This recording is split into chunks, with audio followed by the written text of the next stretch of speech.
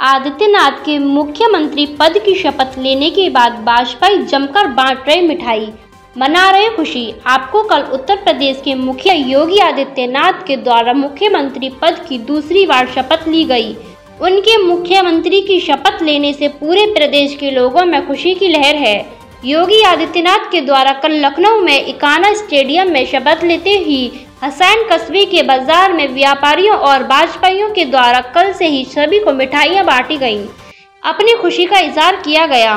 इसी क्रम में आज वाजपेयी के द्वारा सुबह से ही कस्बे में आतिशबाजी चलाकर और लोगों को मिठाई बांटकर अपनी खुशी का इजहार किया गया। प्रचंड बहुमत की सरकार बनी है। योगी आदित्यनाथ जी को मुख्यमंत्री बनाया गया है। इस उपलक्ष्य में आज हम लोगों ने सबने भाजपा कार्यकर्ताओं ने मिष्ठान वितरण खुशी में मिलता ये जो प्रोग्राम बनाया किस खुशी मनाया गया? भारतीय जनता पार्टी की कल जो सरकार बनी है प्रचंड बहुमत मिला था और कल हमारे प्रदेश के मुखिया योगी जी को प्रधानमंत्री उसकी मुख्यमंत्री की शपथ ली और इसी खुशी में जगह जगह मिठाई बांटी जा रही है।